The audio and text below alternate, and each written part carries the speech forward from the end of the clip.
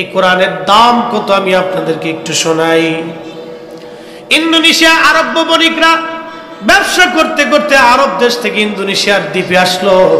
দ্বীপে আসার পরে যখন দ্বীপে আসছে, দ্বীপে আসার পরে ইন্দোনেশিয়ার মুসলমান, তখন কোনো মুসলমান ছিল না।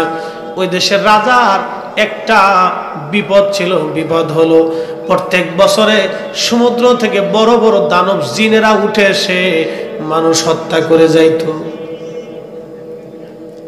আপনি জানেন না, এই যে আপনারা রাত্রিবেলা ঘুমান, আপনার ঘরের উপরে পাহারা দেয় ফেরেস্তারা একসাথে জোরে বলেন তো। আরও জোরে। কে পাহারা দেয়? ফেরেস্তা পাহারা না দিলে জিনে আপনার ঘরে দেশ তারা করত। যা গেছিস, এ দেশ আমাদের। আমরা সেই আদিকাল থেকে এখানে বসবাস করি, আমরা আদি পিতার নাম তারান্নুস। হে পৃথিবীতে ষাট হাজার বছর বাইশে ছিল, তোরাই সুৎকে আমরা ফিডে দেশ খেদাই দিত। হ্যাঁ। জিন, কিতাবুল জিনের ভিতরে ইমাম সুইতি রহমতুল্লাহ লেখছেন। অনেক ঘটনা লেখছেন। ইমাম সুইতি জিনদের উপর একটা কিতাব লেখছেন। ইমাম সুইতি, আল্লাহ আকবর, আহলে সুন্নতুল জামাতের অনেক বড় ইমাম ছিলেন। দুই লক্ষ হাদিসের হাফেজ ছিলেন। পঁচাত্তর বার আল্লাহ নবীর সাথে দিদার হয়ে গেছে। এত বড় ওলিও কামিল ছিলেন। জমানার মুজাদ্দিদ ছিলেন। ইমাম জালাল উদ্দিন সুইত, ইমাম হজর আসকালানির ছাত্র। আজ থেকে সাড়ে পাঁচশো বছর আগের মুজাদ্দিদ। খুব মনোযোগ দিয়ে এই কোরআনের দাম কত, কোরআনের মূল্য কত? মূল্যের কথা বলতে যায়, ঘটনাটা শোনাই। ইন্দোনেশিয়ার রাজার একটা বিপদ ছিল। প্রত্যেক বছর একটা জিন, দানবীয় জিন সমুদ্র থেকে আসতো। আসার পরে ওই রাজাকে প্রত্যেক বছর সমুদ্রের পরে একটা কুমারী নারী রেখে আসতে হতো। ওই জিনটা এসে কুমারী নারীটাকে হত্যা করে তার রক্ত পান করে আবার চলে যাইত। একটা মহা বিপদ ছিল। কোন তদবিরে, কোন কাজে এই বিপদ থেকে সে বাঁচতে পারে না। অনেক চেষ্টা করছে, কোনো লাভ হয় না। প্রত্যেক বছর একটা কুমারী মেয়েকে সমুদ্রের পারে রেখে আসতে হতো, সাজিয়ে গুজিয়ে প্রত্যেক দিন ওই পরের দিন সকালবেলা যায় দেখতো তার লাশ ক্ষত বিক্ষত, ছিন্ন বিচ্ছিন্ন লাশ পড়ে আছে, তার রক্ত পান করে দিন চলে যেত। মুসলিম বণিক দল ওই বছর গেলেন। আল্লাহর কোরআন, কালেমার আওয়াজ ইন্দোনেশিয়ায় পৌঁছাই যাবে। সিদ্ধান্ত আসমানে হয়ে গেছে। কীভাবে পৌঁছাবে আমার আল্লাহ দেখেন, খুব মনোযোগ দেন।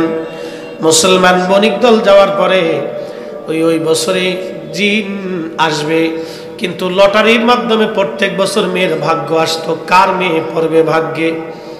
ওই বছর লটারি টান দেওয়ার পরে ভাগ্য আসলো রাজার মেয়ের কুমারী কন্যা। শাহজাদির নাম আসার পরে সারা দেশের মানুষ কান্নাকাটি শুরু করল, আমাদের শাহজাদি মারা যাবে। রাজার মেয়ে মারা যাবে রাজ দরবারে বিষণ্ন রানী কান্দে, রাজা কাঁদে। রাজ পরিবার কান্নাকাটি করে। যখন মুসলমান বণিক দল গেছে, যাওয়ার পরে দেখতেছে সবাই বিষণ্ন চিন্তিত ব্যাপার কি? তোমরা এইভাবে বিষণ্ন কেন? ব্যবসা বাণিজ্য বাদ দিয়ে তোমরা এইভাবে করছ কেন? তখন একজন ইন্দোনিয়ান বললেন, হে মুসলমান, আমাদের দেশে এই সমস্যা। প্রত্যেক বছর একটা জিন সমুদ্র থেকে উঠে আসে দানব জিন। একটা কুমারী নারীকে দিয়ে যাওয়া লাগে আর সে সকালবেলা রক্ত পান করে তাকে ছিন্ন বিচ্ছিন্ন হত্যা করে চলে যায়। প্রত্যেক বছর না দিলে সে আমাদের এলাকা ধ্বংস করে। বিপদ উপদ্রব চালায় মহামুসিবত আসে। এখন আমরা এই বিপদ থেকে কেমনে বাসি বলো? এই বছর রাজার মেয়ের নাম আসছে, এই জন্য আমরা খুবই চিন্তায়। পেরেশানি, আমাদের ব্যবসা বাণিজ্য খাওয়া দাওয়া বন্ধ হয়ে গেছে। মুসলমান বণিক, চিন্তা করলে সুযোগ এবার একটা হয়ে গেছে। কালেমার দাওয়াত পৌঁছাইতেই হবে। একবার জোরে জোরে বলা যাবে কি মারা হওয়া। এই কোরআন পৌঁছাইতেই হবে। এই কালাম এদের কাছে পৌঁছাইতে হবে। দেখেন, তৎকালীন জমানা কত দুর্ভেদ্য। মানুষ ছিল জুংলি। জঙ্গলের মতো মানুষ ছিল। মুসলমান বলল একটা কাজ করো তো। বলে, কি কাজ? তোমার রাজার কাছে আমাকে নিয়ে চলো। বলে, রাজার কাছে কাজ কি? বলে হা কাজ আছে, চলো। রাজার কাছে নিয়ে যাওয়ার পরে রাজাকে বলা হলো, রাজা, আমরা মুসলমান আরব থেকে এসেছি ব্যবসা করার জন্যে। কিন্তু এসে শুনলাম আপনার একটা মহা বিপদ সামনে। বলে হা আপনার সুন্দরী মেয়েটা আপনার কোল খালি করে চলে যাবে, মারা যাবে। একটা জিন তাকে রাত্রিবেলা নিষ্ঠুরভাবে হত্যা করবে, চিরে চিরে ফেরে ফেরে রক্ত পান করে চলে যাবে। বাবা হয়ে, মা হয়ে এত সৈন্য সামন্ত থাকার পর আপনি কিছুই করতে পারবেন না বলে হা। মুসলমান বলতেছে, রাজা, যদি বিপদ আমরা আপনার থেকে বাঁচাই দিতে পারি, যদি আপনার মেয়ে বেঁচে যায় কোনোদিন যদি জিনটা না আসে তাহলে বলেন, আমরা যে ধর্মের অনুসারী, এই ধর্ম আপনারা মানবেন কিনা? এই কোরআন আপনি মানবেন কিনা? এই কালেমা পড়বেন কিনা? রাজা বললেন, এত বড় বিপদ থেকে যদি বাঁচি, তাহলে অবশ্যই তোমাদের কালেমা আমরা মেনে নেব। দিন কীভাবে যায় দেখেন? পৌঁছায় কে? কিন্তু আমাদেরকে আঞ্জাম দিত অনেক ভাইরা বলে, মাহফিল দিয়ে সারা বছরের লাভ কি? এই যে হুজুর আনা লাগে খাওয়ান লাগে এত টাকা, প্যান্ডেলিং, লাইটিং, এত কিছু। আপনি সারা বাংলাদেশে একটা পরিসংখ্যান দেন। বাংলাদেশ সরকার যদি বলে যে একটা বছর আমরা বাংলাদেশে কোনো মাহফিল ওয়াজ নসিহত হবে না, প্রত্যেক জুমাতেও কোনো বয়ান হবে না। খালি খোদবাটা পাঠ করেন আমার শেষ হয়ে যাবে। এক বছর বাংলাদেশে কোনো ওয়াজ নসিহত হবে না, কোনো জুমার আগে কোনো ক্ষতি বয়ানও করবে না। কি করবে? একটা বছর বয়ান নসিহত বন্ধ থাকবে। এক বছর পরে রেজাল্ট হবে। এক বছর পরে যা দেখবেন যে রাস্তায় হাঁটতে পারবেন না, চোরের জ্বালায়। এক বছর পরে যায় রাস্তায় হাঁটতে পারবেন না, দুষ্টু পোলাপানের জ্বালায়। বলে, হুজুর, কারণ কি? এখনই এত ওয়াজ নসিহত, তারপরেও পোলাপান হাফ প্যান্ট পরে বিড়ি বাম হাতে নিয়ে রাস্তা দিয়ে হাঁটে চাচা, কেমন আছেন? কথা বুঝেন নাই মনে হয়। এখনও পোলাপান রাস্তা হাইটে চার দোকানে বসে কাকা, উঠেন, আমরা চা খাইতে হবে। বাড়ি চলে যান। তার মানে আদবের কতটা অভাব। এত নসিহত, এত ওয়াজ। প্রত্যেক জুমাতে ইমাম সাহেবরা ওয়াজ করে, লক্ষ লক্ষ মসজিদে ওয়াজ হচ্ছে। লক্ষ লক্ষ আলেম প্রত্যেক জুমার দিনে ওয়াজ করতেছে। সারা বাংলাদেশে হাজার হাজার মাহফিল হচ্ছে। মানুষকে হাজার হাজার মাহফিল আল্লাহর দিকে ডাকা হচ্ছে। কথা বলে ঠিক না বেটে আল্লাহর দিকে ডাকা হচ্ছে। সবাইকে বলা হচ্ছে, আপনারা নামাজ পড়েন, ভালো কাজ করেন, সুদ খেন না, ঘুষ খেন না, অকাম করেন না, মানুষের ক্ষতি করেন না। তারপরেও কি এই এই গ্রাম থেকে কিছু খারাপ মানুষ কিন্তু সব জায়গায় আছে। বলে, কেমন আমি আপনারা বুঝাই? এই চাঁদপুর থেকে এক ভদ্রলোক ধরেন আপনাদের এলাকাতে আসছে। তো রাস্তা দিয়ে যাওয়ার সময় দোকানে একজন দেখে বলতেছে সাময়িক মুরব্বী। বাংলা সালাম আর কি। সাময়িক মুরব্বী। আপনার এই জীবনে প্রথম প্রথম দেখলাম এলাকা। বাড়ি কোথায়? বলে, আমার বাড়ি চাঁদপুর। কই আসছিলেন? বলে, আপনাদের গ্রাম আসছিলাম আব্দুল করিম সাহেবের বাড়িতে। বলে, কেন? বলে, ওনার একটা মেয়ে আছে, আমার একটা ছেলে আছে, ওই আত্মীয়তা হওয়ার কথা। তো এই জন্য দেখতে আসছিলাম। তো বেডাই আর জায়গা পাইলেন না। কয়, কার জাগা ফেলেন না বলে মেয়ের চরিত্র খারাপ, মেয়ের মার চরিত্র আরও খারাপ। এরকম লোক মানে আপনাদের গ্রামে দুই একজন নাই নাকি? সব বলিয়ার লাগবে নাকি? আচ্ছা বলেন শুধু কি আপনাদের গ্রাম, পার্শ্ববর্তী গ্রামে নাই? বাংলাদেশের এমন কোন গ্রাম নাই যে গ্রামে এই কোয়ালিটির লোক না আছে। বিয়ে আসলে ভাঙ্গানি দেওয়ার মতো লোকের অভাব হয় না।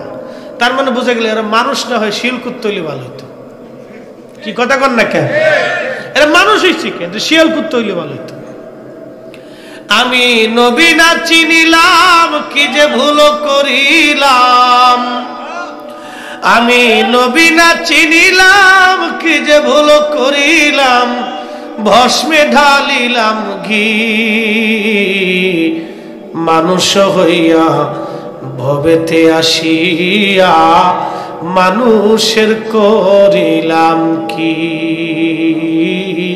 মানুষ হইয়া ভবেতে আসিয়া মানুষের করিলাম কি?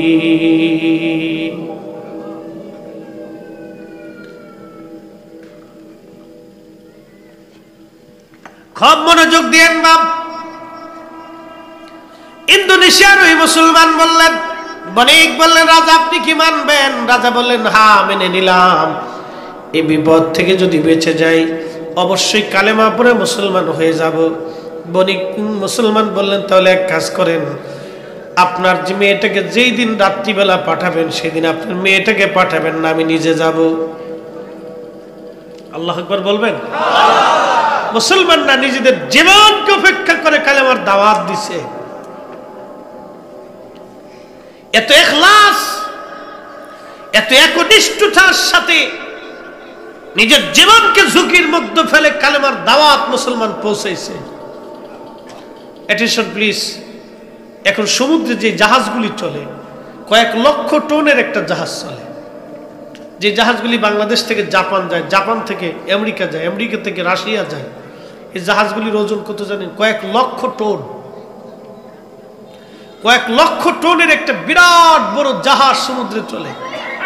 কিন্তু মাত্র পঞ্চাশ কিলোমিটার বেগে একটা বাতাস যখন আসে, এই বাতাসের ধাক্কায় যে ঢেউ হয় জাহাজে, সমুদ্রে, এই ঢেউয়ের বাড়িতে জাহাজগুলি কাঁপতে থাকে।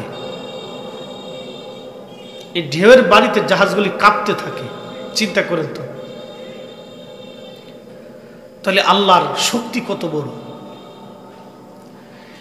বর্তমান সময়ে এত বড় জাহাজ যদি ঢেউয়ের বাড়িতে কাঁপতে থাকে তৎকালীন জমানাতে কাঠের জাহাজে করে আহারে পৃথিবীর বিভিন্ন জায়গায় ঘুরে ঘুরে এই আল্লাহর অলিরা মানুষের কাছে কালেমার দাওয়াত পৌঁছাইছে। মনোযোগ দেন, মুসলমানের জবানের এত বড় পাওয়ার ছিল। মুসলমানের জবানে এত বড় পাওয়ার। মুসলমান আফ্রিকাতে গেছে কালেমার দাওয়াত পৌঁছানোর জন্য। আফ্রিকাতে যাওয়ার পরে আফ্রিকান জঙ্গলি বাহিনী চিন্তা করল, মুসলমানদেরকে যদি জায়গা করে দেই, তাহলে যুদ্ধের জন্য রণকৌশল হিসেবে এরা মুসলমানদের জন্য জঙ্গল দিয়ে দিল। আফ্রিকান জঙ্গলি বাহিনী তারা সমতল ভূমিটা আগে দখল করে নিয়ে নিল। মুসলিম সেনাপতি আমির, উনি চিন্তা করলেন একটা মহাবিপদ ওরা তো রণ কৌশল করে আমাকে জঙ্গলের সাইডটা দিল, কারণ রাত্রিবেলা তাবু টানায় ঘুমাবো। জঙ্গল থেকে বন্য প্রাণী এসে আমাকে আক্রমণ করে খেয়ে ফেলে দিবে। আমার অনেক সৈন্য মারা যাবে না। মুসলমান সেনাপতি বলল, হে মুসলমানের, আমার জন্য একটা টাওয়ার বানাও, টাওয়ার। তাড়াতাড়ি গাছ কেটে, কাঠ কেটে টাওয়ার বানিয়ে দেওয়া হলো। ওই টাওয়ারের উপর উঠে সাহাবি ভাষণ দিচ্ছে, হে জঙ্গলের প্রাণীরা, আমরা নবী সাহাবি, এই জমিনে আসছি কালেমার দাওয়াত দেওয়ার জন্যে। আজকে আফ্রিকান বাহিনী আমাদেরকে জঙ্গল বাছাই করে দিয়েছে। তোমরা জঙ্গলের প্রাণীরা তাড়াতাড়ি করে জঙ্গল ছেড়ে পরিষ্কার করে দাও। তা না হলে সকালবেলা তলোয়ারের মাধ্যমে তোমাদের ফয়সালা করা হবে। কালকে আমরা কালেমার দাওয়াতের জন্য আসে জেহাদের ময়দানে। একবার আওয়াজ তুলে বলা যাবে আল্লাহ আকবার। এ মুসলমান, ও জমানার মুসলমানের জমানের দাম কত ছিল? তেলের গাড়ি তেলে চলে। হাওয়ার গাড়ি হাওয়ায় চলে।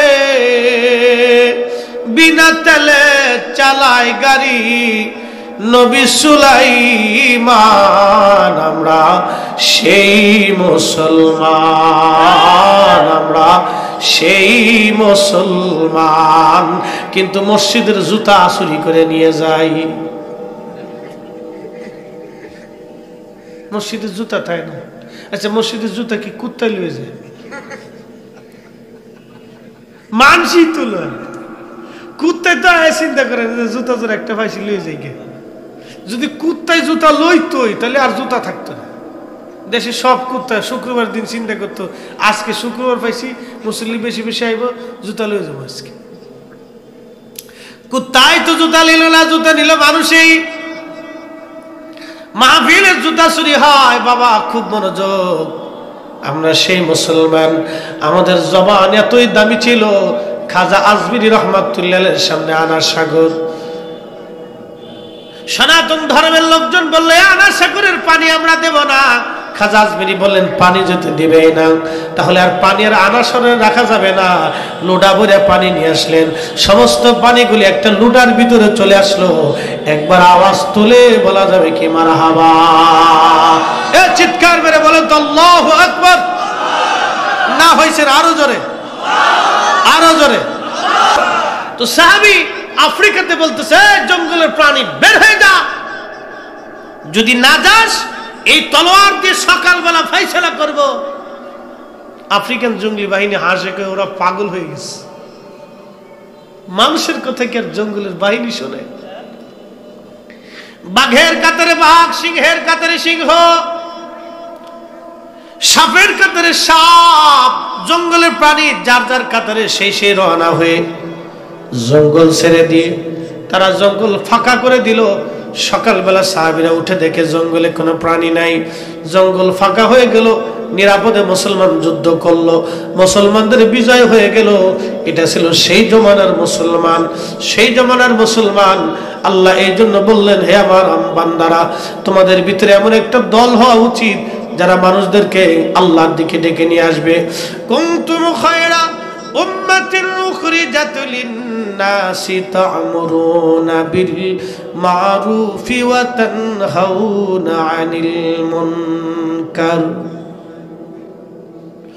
আল্লাহ বলেন আমার বান্দারা, তোমাদেরকে সর্বশ্রেষ্ঠ জাতি বানিয়েছি। তোমরা পৃথিবীর মধ্যে সেরা, তোমরাই সেরা, তোমরাই ভালো। কোরআন শরীফ কত দামি, কিন্তু আমার এই ছেলেরা সারা দিন রাত পরিশ্রম করে কোরআন শরীফ পরে বাপ। অনেক কষ্ট। অনেক কষ্ট। হুজুরা গালি হুলুস হুজুরা ধমক দেয় হুজুরা মারতে যায়। কেন? ছেলে দুষ্টুমি করলে কোরআন জমা হবে না এই জন্য হুজুর শাসন করে। ধমক দেয়, মারতে যায় বেয়াদবি করবি না, কোরআন এখানে জমা হবে না। এই ছেলেটাকে বসায় বসায়, পড়ায় পড়ায় পড়ায় পড়ায় কোরআন এখানে জমা করা হয় বা অনেক বড় দামি। এই কোরআন কত দামি জানেন? মুসলিম সেই দিন বাচ্চাকে বলেন, বাচ্চা, কবে হবে? বলে, আগামী রাত হবে। ঠিক আছে, আপনার মেয়ে রাজ দরবারে থাকবে, আমি নিজে যাব। মুসলিম বণিক রাত্রিবেলা চলে গেলেন, ওনাকে নিয়ে যাওয়া হলো। সুন্দর ঘর সাজিয়ে ওই ঘরের মধ্যে উনি বসে রইলেন, কোরআন হাতে নিয়ে চুপচাপ। কখন এই দানব আসবে মুসলিম বণিক লক্ষ্য করলেন, সমুদ্রের ভিতর থেকে গর্জন মেরে মেরে বিরাট বড় একটা দানব উঠে আসতেছে। এই সময় মুসলমান বণিক কোরআন খুললেন। একটাই চিন্তা, এই ইন্দোনেশিয়ার জমিনে কালেমার দাওয়াত আমাকে পৌঁছাইতেই হবে। আজকে সুবর্ণ সুযোগ? এই সুযোগ হাতছাড়া করা যাবে না। কোরআন শরীফ হাতে নিয়ে ওই বণিক বসে বসে কোরআন শরীফ পড়তে লাগলেন। যখন ওই জিন দাত্ত জনব দিন যখন সমুদ্রের কিনারে আসলো, কোরআনের আওয়াজ পাওয়ার সঙ্গে সঙ্গে সমুদ্রের গভীরে পালায় চলে গেল, আর কোনোদিন সে আর ফিরে আসে না একবার জোরে বলা যাবে কাল্লাহ আকবার। ওই জিন কোরআনের আওয়াজ পাওয়ার সঙ্গে সঙ্গে পালিয়ে চলে গেল, আর কোনোদিন ওই জিন আসে নাই। ওই দেশের, ইন্দোনেশিয়ার সমস্ত রাজা এবং প্রজারা সব একসাথে সেই দিন কালেমা পরে মুসলমান হয়ে গেলেন। এই জন্য পৃথিবীর অন্যতম বৃহৎ মুসলিম দেশ হলো ইন্দোনেশিয়া। মার হাবা বলা যাবে না? কালেমার দাওয়াত পৌঁছায় গেল। এ বাপ, একটু গভীর মনোযোগ দিয়ে তো আগে গ্রাম অঞ্চলে দেখছি, প্রায় ঘর থেকে সকালবেলা ফজরের পরে কোরআনের আওয়াজ আসতো। এখন এটা বন্ধ হয়ে গেছে। বন্ধ হয়ে গেছে। কেন? আগে নারীরা রাত্রেও কোরআন শরীফ পড়ছে, আমাদের দাদিরা, নানিরা দেখছি বুড়া হয়ে গেছে কোরআন পড়ছে। তখন খালি স্টার জলসা পড়তে থাকে।